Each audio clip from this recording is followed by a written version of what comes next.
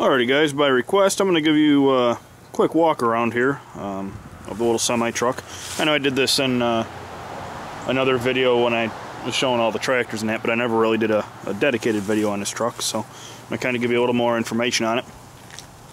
Basically, uh, we've had this for, I'm going to say, geez, about 16 years or so.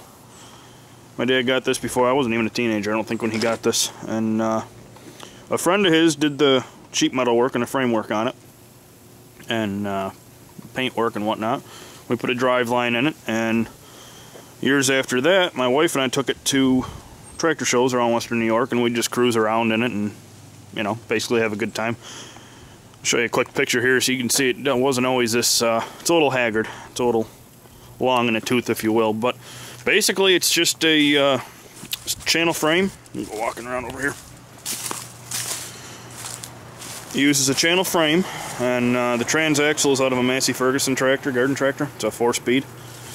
Uh, got dual tires, and uh, spacers were made out of cut-down barrel, steel barrels, and it's got wheel weights on it. Um, fully functioning lights, brake lights, turn signals, running lights all the linkage, everything, it shifts and drives from the cab. You know, it shifts. It's got a ball joint there in the shifter. Um, linkage for the brakes, linkage for the cable for the clutch, cable for the throttle. Everything's actuated, act activated, or you know, ran from in the cab in the driver's seat. Whew. It's cold out here. Very cold. I'm shivering. Um, uses Anheuser kegs for uh, fake fuel tanks.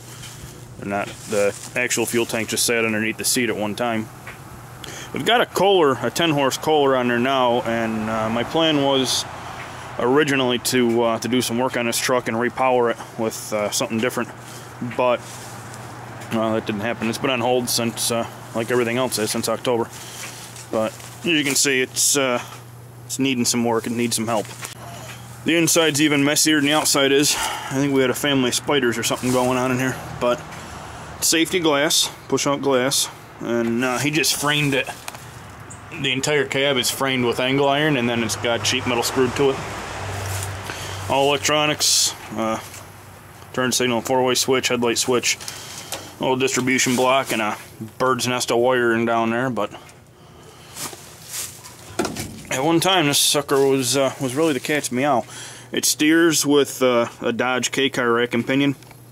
It was actually a powered rack. It's just got the lines cut to it. But I can show you a quick picture of how that looks here because I'm not going to try to crawl underneath this today.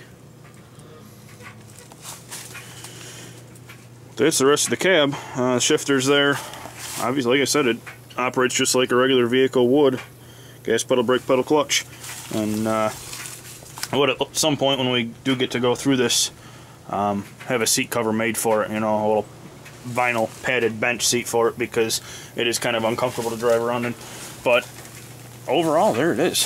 Um, needs new mirrors. The mirrors are both cracked. And these I had gotten at a garage sale somewhere, I think. Got electric air horns on the roof. Um, I think I was given a man at Alexander Tractor Show in New York gave those to me because it didn't have any horns on it. I do plan, I work in a sheet metal shop and I'd like to uh, skirt the entire bottom of the sucker with diamond tread all the way around the cab. Kind of cover up some of those holes and just make it a little flashier, you know.